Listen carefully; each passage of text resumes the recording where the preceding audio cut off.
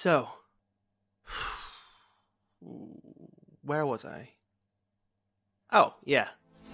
Welcome to The Note Show, deep diving into the lives and minds of guests across the whole spectrum of the arts, exploring the big why behind what makes them tick and having a few laughs along the way. Now, here's your host, Joshua Note.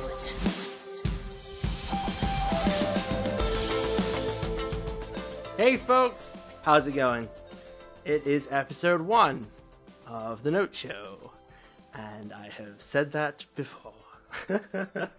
it's actually like episode 51 or something. Uh, we're not entirely sure what episode this would be, but um, we've been gone for five years. So, if anyone doesn't know, we are an arts podcast that started in October 2013 and ran for a couple of years. And like I said, we did about 50 plus episodes with people across the whole spectrum of the arts bi weekly. And uh, we had a really good time doing it. I especially felt very lucky and fortunate to interview so many people and introduce the audience that we grew to all these different personalities and, and artistic people doing cool projects, and we got to see and share some wonderful stuff. So we're back now, five years after we stopped doing the show, and a slightly new type of format, but uh, it's really exciting to be back, and I feel like it's a new adventure we're starting a new thing. We were going to call it season two, and then we decided, you know what? No, let's actually delete our old episodes and uh, have a brand new start. So we have a new team. They are Lily Barkorder, researcher and producer, Aaron Dowd, producer, who used to be the podcast editor. Paroma Chakrabarti is our editor. My assistant is Dina O'Brien, and artwork is done by Lorraine Graphics. So we are doing the show now from West Yorkshire, United Kingdom, where we used to do it from, except the brief period where I went to America and interviewed some people there. And we've got some wonderful guests appearing, and we hope you really enjoy them. I want to say thank you so much to them. I want to say a special thank you to people from other podcasts who've encouraged us to come back and me to get back hosting. And, and it's really exciting that people have been so nice on social and shared us and liked us and followed us. Please do follow at the Note Show Pod on Facebook or Twitter or Instagram Instagram, whichever one you use most, or all three, just for the sake of it. At the Note Show Pod is us, and we really appreciate you helping out and uh, giving us a listen once a week. It's a dark time, and if we can provide, you know, 20 to 35, 45 minutes of entertainment once a week, every Wednesday, then we've done something good and it's our little tiny, tiny contribution to the world at the moment because it's the best we can do. But we hope you'll take it. Our guest this week is Mark Brennan. He is someone who appeared on the show in the past. I got in touch with him and said, We're restarting. Would you give us a chance? And he said, Yeah, absolutely. And I really appreciate that, Mark. Thank you for coming on. You were really informative. And uh, he's a badass filmmaker, wonderful guy. And uh, I say in the interview that I've seen one of his shows in real life, one of his films. And I mean that because now he's, because of lockdown, having to run Facebook premieres in private groups, which he'll talk about. And the feedback I can tell you, because I was in those groups, is just wonderful. Everyone loved Squall, his new film, just the way that they loved Tea for Two, his last film. So without further ado, let's rock and roll and get on with the show. The Note Show.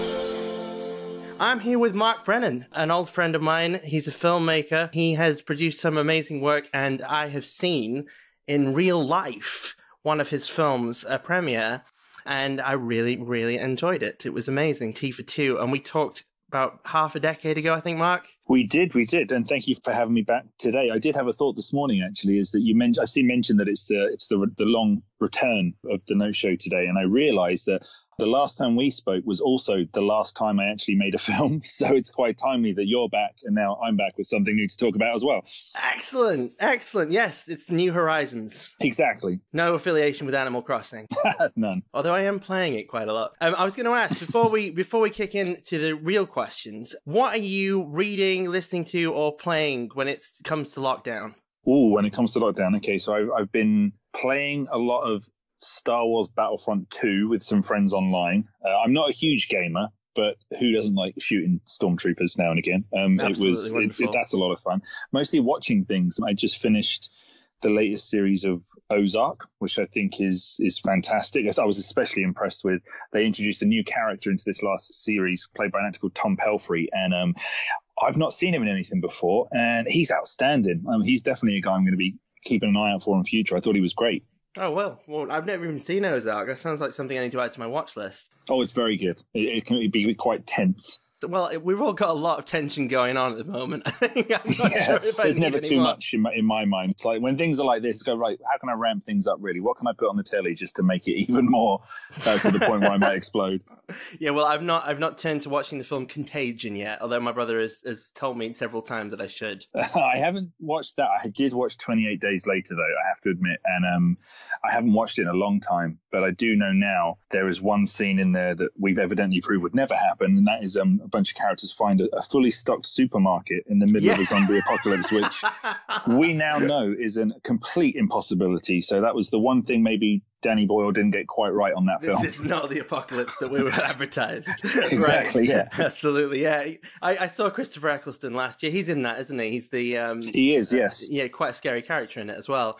Saw him doing Shakespeare last year, and he was wonderful. And uh, yeah, no, that's awesome. I'm really glad to hear that you're sort of keeping sane and uh, you know doing stuff because I think working hard on on projects is, and and getting stuff done, which I know you're you do, and we're about to talk about something, is the only way around this. I think it's it's really positive. And you have a, a short film which I have seen.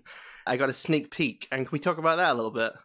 Uh, yeah, of course. It's called Squall. It's a short drama about two complete strangers at rock bottom in their lives for, for very different reasons who meet one night in a hotel bar under unusual circumstances and go on to have quite a random evening together where they kind of put their respective broken worlds to rights.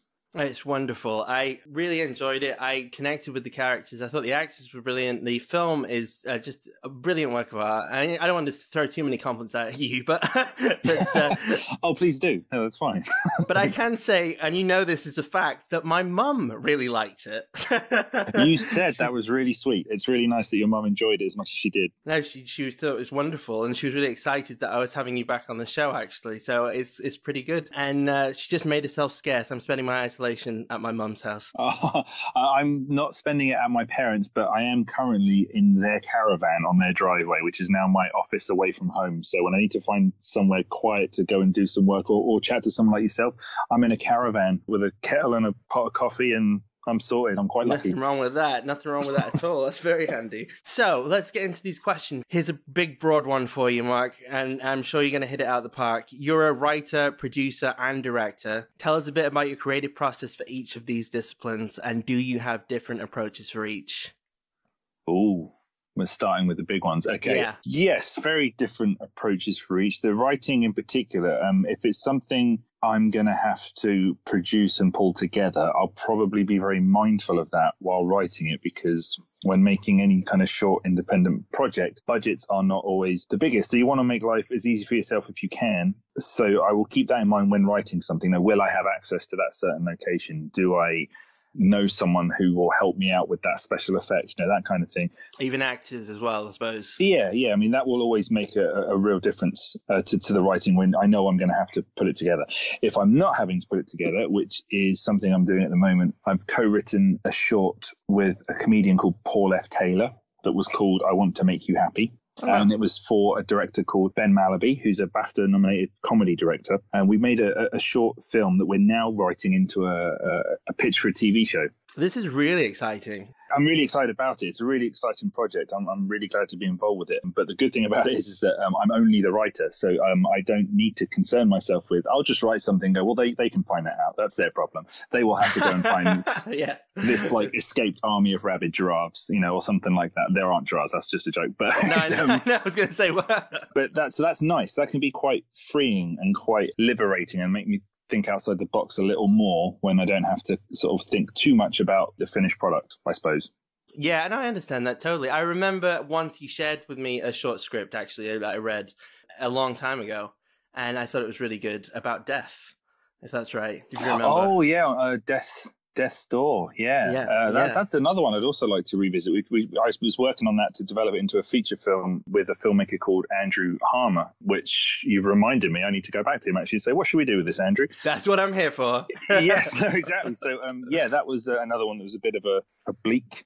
Bleak dark comedy, uh, obviously being about death. so um, uh, yeah, that's another one I'll, I'll have to revisit. I've got a few sort of projects on at the moment. And writing wise, you know, this is on the surface of it an ideal time to get stuck in because we're all stuck at home and, you know, mm-hmm. everyone has nothing but time at the moment. I have found it a little distracting to get back into it with, with everything that is going on. I think there's probably a lot of creative people out there that are feeling this pressure to come out the other side of this with some finished masterpiece because they have no excuse. They've been at home, but I don't really kind of hold to that. I can understand why people would put that pressure on themselves, but I think what's important is coming out the other side of this just healthy and well. And, and if yeah. you come out of this with things unfinished, that's fine. So I'm, I'm writing when great. I'm able to, and when I'm not, I'm not beating myself up about it. Well, good for you. I saw you posted on Twitter literally that if you if you come out of this and you haven't finished your novel slash whatever slash masterpiece, that's just fine because there are things circulating on Twitter about you lack discipline if you come out of isolation not having finished.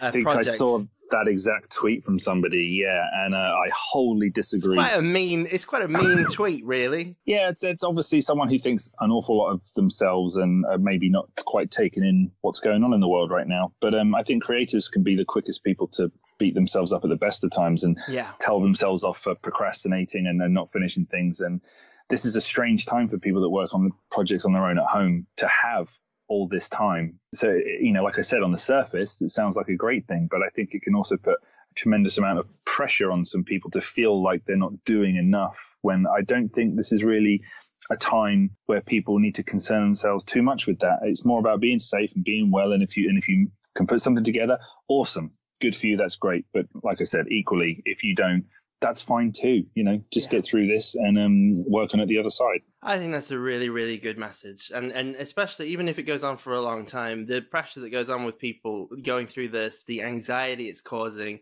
and the just sheer worry is a big obstacle. And I know that someone's coming on this show in a few weeks, and one of my one of my sort of literary heroes is coming on, and she told me that she and all the writers that she knows are actually having writer's block and uh, mm. and and she's someone I look up to and has guided my own children's book writing, and I find it amazing that she said that. And I said, well, that's really good because you know what, I'm I'm stuck actually on my book, and uh, I suddenly don't feel bad. So I think spreading that message is probably a really nice thing to do. So yeah, kind of thank you, Mark. You know, I think. Oh, you're very welcome. Yeah. I'm, I'm, trying to be as sage-like as I can for you.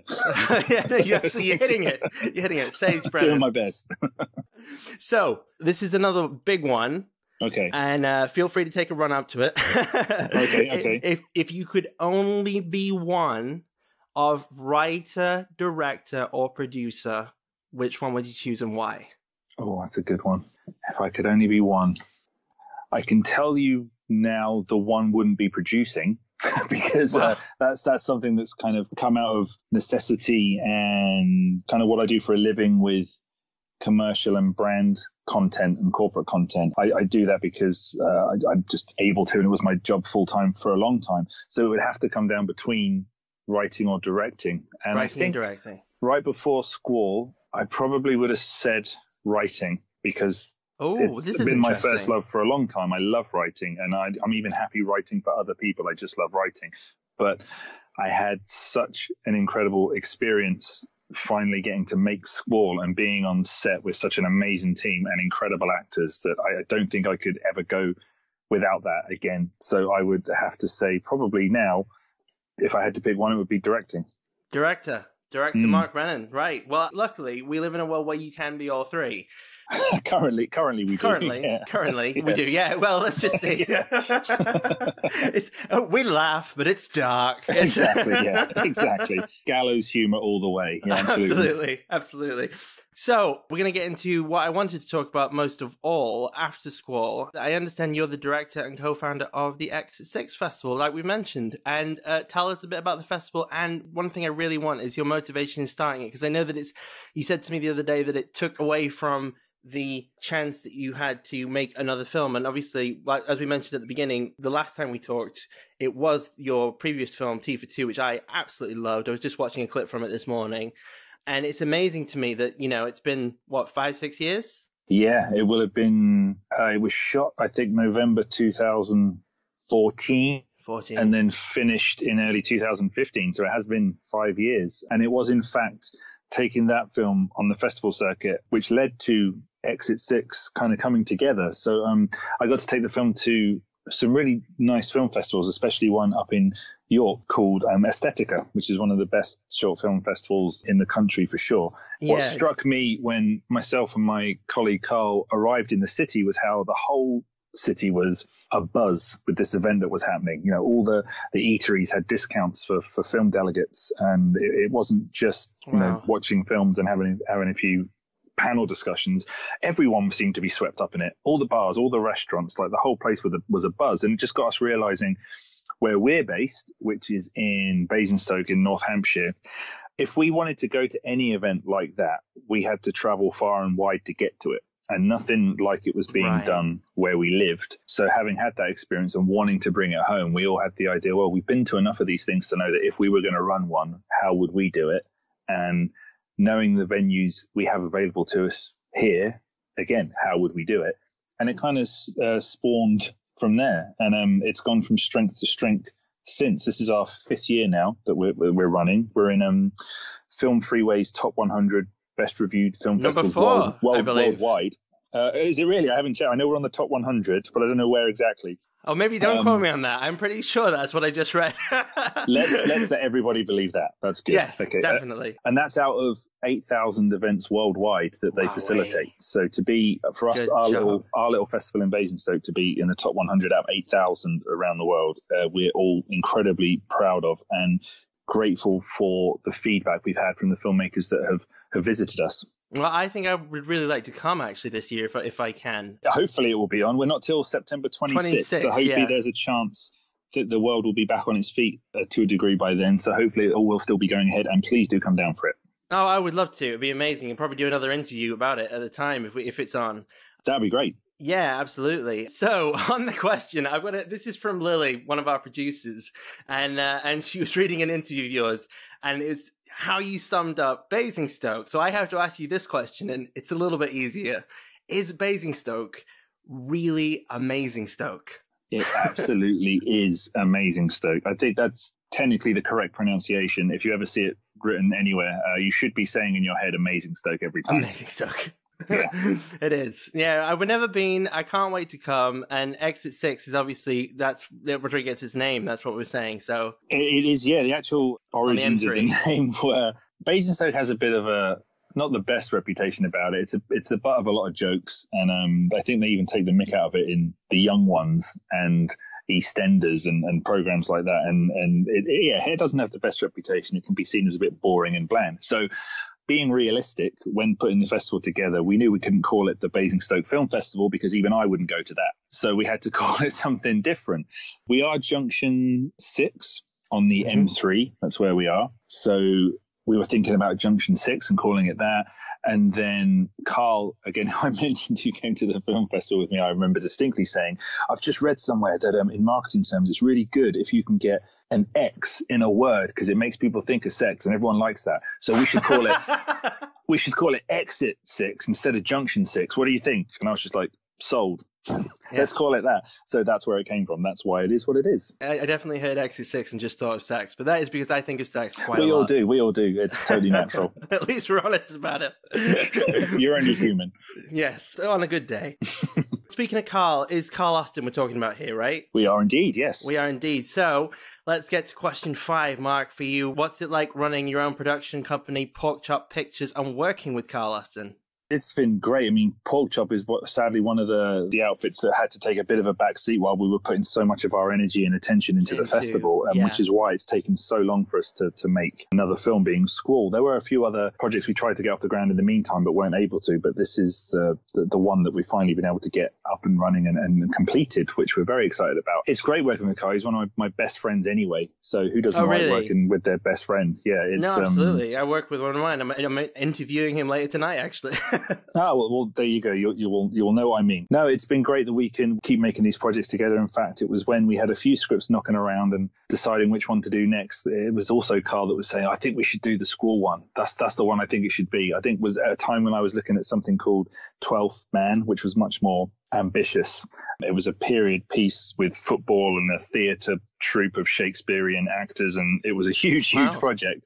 And Squall is absolutely not that. So that was one of the ones we weren't able to get off the ground, but then came back to Squall, and um, so glad for it. it I'm I'm so happy with it. To divert a little bit, um, Gary Beadle and Jessica Chamberlain, the two actors who perform in Wonderful, it, are yeah. outstanding, and so lucky to to have had them because to write characters that actors and not just actors, brilliant actors, will then you know take to heart and take very seriously and, and, and elevate off the page entirely is a beautiful thing to watch. I'm so very grateful to, to the pair of them that they were willing to spend three very long days and nights in That's Basingstoke in the middle of the summer to get the film made. Oh, well, they did a great job. I thought both of them were fantastic. I was really moved by it. A running theme throughout your work seems to be finding humor in the unexpected, such as in Tea for Two. What is it about this topic that fascinates you? I think in the particular case of short stories, I do like being parachuted into a situation that the audience has to kind of try and make sense of until they get what's happening. And because of them being not entirely certain from the off what to expect or what is happening, I think you can play around a little more and you can find the humor a little more because a lot of humor comes from your first impression of something and you can be presented with an odd scenario, or an odd situation and react to it. Usually, I think normally we tend to react with humor to, to things we don't quite understand or think is daft, or especially if you got like in the case of Tea for two with a dotty old couple acting strangely, that that would be funny. It doesn't matter that there's actually something a little more serious behind it that, that comes to the front later on. Yeah, something really important. That's the secret of the film, isn't it? Yeah, all you have is that first impression. And if that first impression is something a bit balmy or unusual, I find enjoyment in that. Like, I love that. Even in real life, I love that. Like, I, I'm the most open to any bizarre situation there ever is, probably sometimes to my detriment, where usually you should probably just keep your head down and keep walking. But I just find everything so interesting that I can't do that. But particularly with shorts, like I said, with a longer form story, I don't know how I've yet to try and keep up that same thing in feature format because I haven't tried it in any of the feature scripts I've written. It only tends to be the short stuff where it's an unusual set of circumstances between people that don't know each other. Right. Yeah, it seems to Hmm. be a, yeah, definitely a thing for you, and I think it's wonderful. I think I just bring up Tea for two. Can you do a little uh, description of that for people who haven't seen it yet? Oh yes, of course, it's been a while. Uh, yes, Tea for two. So that is about Jim and Alice are working in an idyllic little tea shop in the English countryside, who are visited one day by a couple of customers who come in for their lunch. Jim and Alice are a, a little kooky and unusual, and the customers kind of find out as time goes on that everything going on in this tea shop isn't quite what it seems. That's it. That's it. That's it. I remember watching that at the premiere and uh, and sitting there in absolute wonder as to what the heck was going on.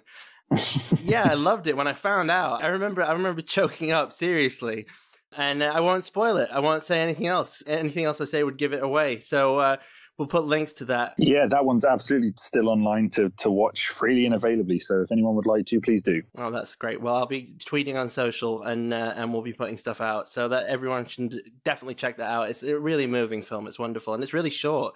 Well, it's a short. Um, it is short. I, I've, I've learned now I should have made it.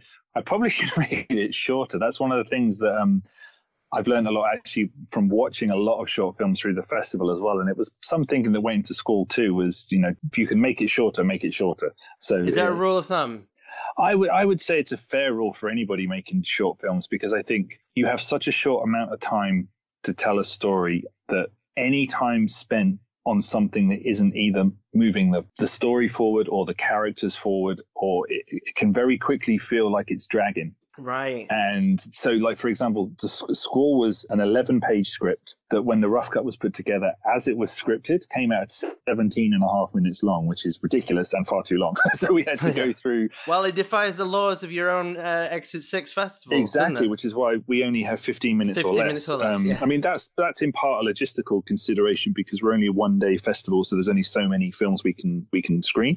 But it's also, I think, a good maximum length to aim for that helps you with festivals everywhere anyway, because it makes you slightly easier to program if- you're not 20 to 30 minutes long. Right. So yeah, Squall was 17 and a half minutes when it came out in the rough cut, which was obviously hideously too long. So we had to go through it with a butcher's knife and got it down to, without the credits, 12 and a half. So lo- lost five minutes of content from it. Wow. So there were whole scenes gone. There were sequences chopped and changed and moved about. And the film is all the better for it. Like it's a much better film at 12 and a half minutes than the 17 and a half. So the, the rule is always if you can get rid of it, you should get rid of it. I think anyway, with short films. Well, that's awesome. I'm actually going to get onto a question about your advice to people in a, in a minute. And uh, I think that that's a really good rule of thumb. So everybody, you know, if you can make it shorter, make it shorter and get into the Exit 6 Film Festival in less than 15 minutes.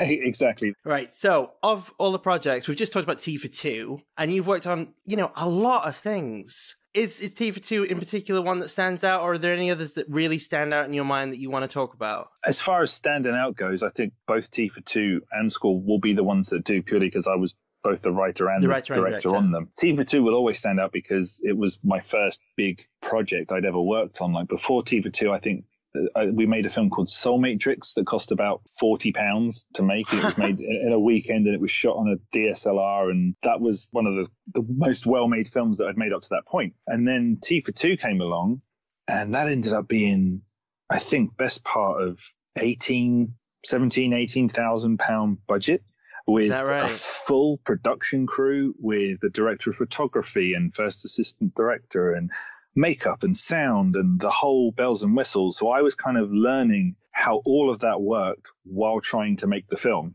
which was nerve wracking as anything. I bet. Not only that, it was also having actors like uh, John Challis and Amanda Barrie, who are like British television icons, to work with as well. So I've, I've gone from 40 quid and some sandwiches with Carl to tens of thousands of pounds, British TV stars, full production crew, and figuring out how it all worked as I was doing it.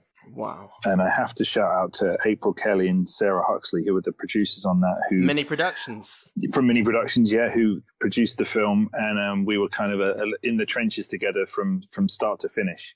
I would not have got through it without them, and they're both some of my best friends to, to this day. We still talk very, very.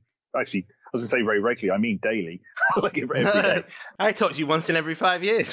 exactly, yeah, but it's, it's it's quality, not quantity. That, that that's that's, That's all that right. matters. That's that, yeah. exactly, yeah. But um, no, so that film for sure, and I'll never forget. I will never forget. I didn't know how to wrap a film. really? Well, I'd never done it before. like, as in, I'd never had a crew to wrap.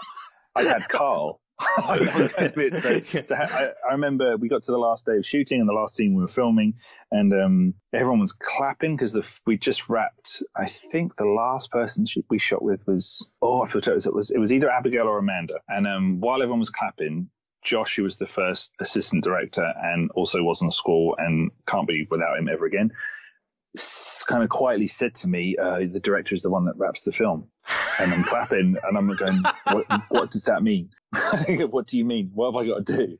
He goes, you just you just say, "Ladies and gentlemen, that, that's a wrap for Tea for Two and I go, "I just say that," and he's like, "Yeah."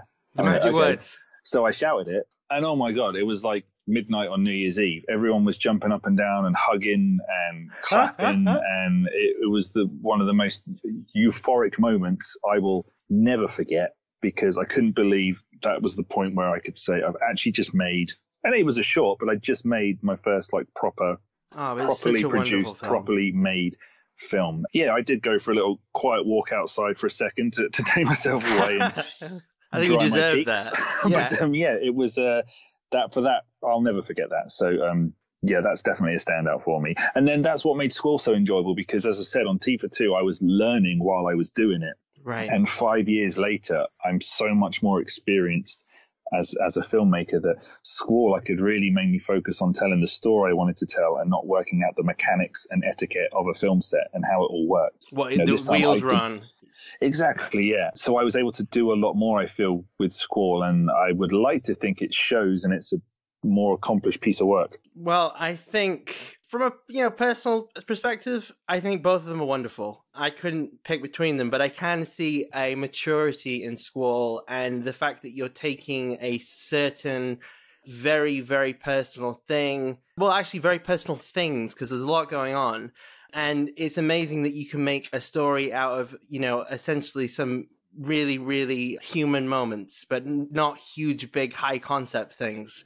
It's Mm. wonderful that you've done that. And I think it's just awesome. It's, it's definitely a very grown up film. No, it's very kind of you. Thank you for saying so. And so, on that topic that we were just talking about, to bring it back, you learn to wrap a film. You haven't done that before. You think that shorter is better. And now you're the expert on this. You run a film festival. You've got a couple of great short films under your belt. So, what advice would you give to people trying to break into the industry? And, and what's the best piece of advice you've ever received? Best advice for breaking into the industry. If you mean by best advice I could offer someone making their first short film, yeah. My first advice would be to make life as easy for yourself as you can. And by that, I mean when you're writing and putting the film together, make sure you're going to tell a story you have the means to tell. There's no point when you have no money to write the next Star Wars and you have to turn your parents' bedroom into a flight deck or something like that. Like it's not it's not going to work. So um, I would look around you, see what you have access to, see see what's there that you can use and make part of an integral story, and to some degree, maybe even reverse engineer it slightly. So you know, I know I have these things at my disposal. What story can I tell with these things? Right, because that will make your life easier than coming up with a story first, and then with no money and no no resources to then go right. How do I create that? that that can help you out an awful lot because I've seen a lot of short films where I can't applaud ambition enough. Ambition is great, but uh, ambition that falls short of practicality, I suppose, it really does show in, in, in a short film if, if, you've, if you've overstretched yourself slightly. So again, just be be kinder to yourself, make life easier on yourself, and tell the story that you can with what you have. Wow. Yeah, no, I think that's really, really important. And and just to bring it back, do you remember the best piece of advice you've ever received? I I do, but I can't remember where I got it from. Um, oh. Which is really, and I can't remember if someone told me it or if I've read it, but it's something that I tell to other people because it's absolutely true and I live by it, and it's the best bit of advice I've ever had to do with filmmaking, and that is, whenever you make a film, you make three films, and you need to keep that in mind through the whole of the project. And what that means is, is the film you write will be different to the film you shoot, will be different to the film that you edit. Wow. And you always have to be mindful of that because it's great being prepared and have the project developed and the script ready and you've rehearsed everything. And but the day you get on set, there will be something that changes. Something might go wrong. You might make a different creative choice that you weren't thinking of during the writing element. So the way you shot it changes. And then when you're in the edit and the script and the editor has the script and, and can see, hang on, this is this is not how it was written. You've, you've changed something here. But then also for some reason, it can be the energy of the performances or, or a continuity issue or, or, a narrative issue that some scenes that were written to go side by side for some reason will not cut together correctly in the edit. So you have to start thinking outside the box. So the film that you end up with will be different for the film you started out to make. And I think some filmmakers can panic if they're too locked on or precious about the script and rigid. Yeah, if they're if they're not open to those those changes, it can feel like it's going wrong and it's getting away from you. I think you just have to be mindful going in that making any film is, is a malleable process and it will it will change as you go through it. And um, as long as you're mindful of that going in, you will be a lot less stressed when, when things start to go wrong because things always go wrong. You need to just roll with it and adapt. So yeah, best advice is when you make one film, you make three films and never forget it. Brilliant. I think that's one of the most wonderful pieces of advice I've ever heard. I've never heard that. And uh, obviously I'm not a filmmaker. Why would I have heard that? I wish I knew where I, I read it somewhere. Oh, I can't, I don't remember. Someone told me or I read it, but I can't You know what? remember. Someone might remember. tell us. Someone might write in and tell us. It might they be might a thing. do. And I hope so. And I'll give them all the credit in the world because it's words to live by. Oh, it's brilliant, brilliant, brilliant advice. And so my last question, a kind of obvious one, but we we've already covered it in a way, but we're gonna still do it. Why not? What's next for Mark Brennan? Let's talk about Squall, shall we? Well, next would have been a film festival circuit, which is now Right. currently on something of a hiatus until the world gets back on its feet again. But um, I'm quite, I guess, fortunate in a way that a lot of the festivals I've submitted to won't happen until at least September. So hopefully, fingers crossed, one, the world will be a much safer place by then and these events can continue. And also some of these festivals will actually pick Squall, which would be good, and then I can go to them. I'm so sure they that's, will. um, that's something that I'm hoping for for that in the future. Um, another thing we're doing is we were very fortunate that we were able to have a, a London screening of the film right before everything Lockdown. went mad and, and everything was locked down. But it meant we weren't able to have Basingstoke screening because the film was all entirely shot in Basingstoke, and we had a, a screen here. We were going to have a big premiere at for everybody in the town to come out and see it, um, and we, we weren't able to. So instead, we held a, a private kind of viewing party online for people to see it because um, you're not really meant to put your film online available to the public before it's done its festival run because lots of festivals won't choose films that are already available online for people to Is watch. that So what right? tends to ha- yeah, so what tends to happen is you keep it off the internet until it's finished its run, which usually can take 12 to 18 months, and then you will put the film online for everybody to see. So we are putting online for people to watch, but it's part of sort of a, a, an invite group, so it's not actually public, even though it is online, if that makes sense. Well, having seen the film, I'm sure everyone that was a member of that group really enjoyed it when this comes out.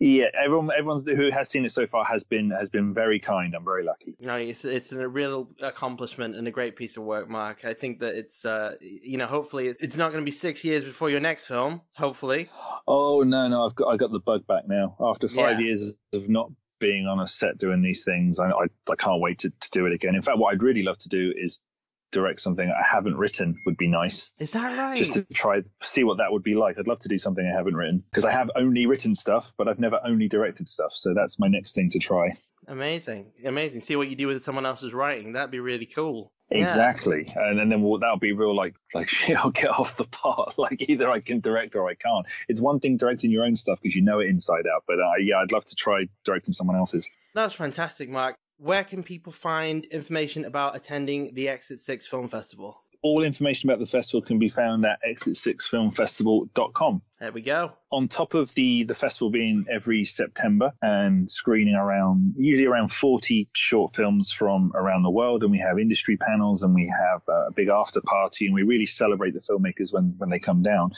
We love indie filmmaking in in general, so every week we will post every Thursday it is we post blog content that's by and for independent filmmakers that covers every aspect of film production. So we've had articles with the guys that catered Ridley Scott's Robin Hood. You know, what's it like feeding 2,000 Norman soldiers the beach? we, we've interviewed a, a company called Snow Business that created the, um, among other things, on the planet Crait in Last Jedi that all looks as made of salt. They did all that. They've done Band of Brothers where they made a village like it was totally covered in snow and it wasn't. It was all fake. Oh wow. We speak to lots of high profile filmmakers and actors such as Burn Gorman and James Callis and uh, God, so many. My head's my head's just gone. That's all right. Don't worry. But but, but so many, and uh, and that's every Thursday. So and there's lots of advice in there for filmmakers on, on every kind of aspect of, of making anything, and then it's also it's shining a light on people who are doing great, exciting things now, who are coming up through the ranks, and then there's also lots of advice from experienced professionals who have been doing it for a long time. So any indie filmmaker uh, who just or just anyone that just loves filmmaking, I would highly recommend checking out the blog each week. Wonderful. Mark Brennan, thank you so much for being the first guest back on the Note Show. It's really wonderful. Thank you for having me. I very much enjoyed it. Sorry if I waffled, but I do like a waffle. No, you're a wonderful waffler. Who doesn't love your wonderful waffles? You are very kind. Thank you you. certainly didn't waffle at any point. You uh, gave a lot of good advice, and I and I thought it was just fantastic. And loads of filmmakers will be listening to this, and hopefully will attend the Exit Six Film Festival. Like Mark said, you can check it out exit6filmfestival.com. Check the blog out. Check out Squall when you can, when it's available. Which is well, when is it available, Mark? It's going to we've covered that really, Uh, haven't the we? next time it's it's hopefully picked for a film festival, it'll be screening then. We'll Right. keep you posted where. Keep us posted, and we will share it on social. Mark, thank you so much. Thank you for having me. This has been The Note Show with Joshua Note. Head on over to www.thenoteshow.com to discover more. Send us your questions, share the show with a friend, and tune in every Wednesday for another episode. Until next time.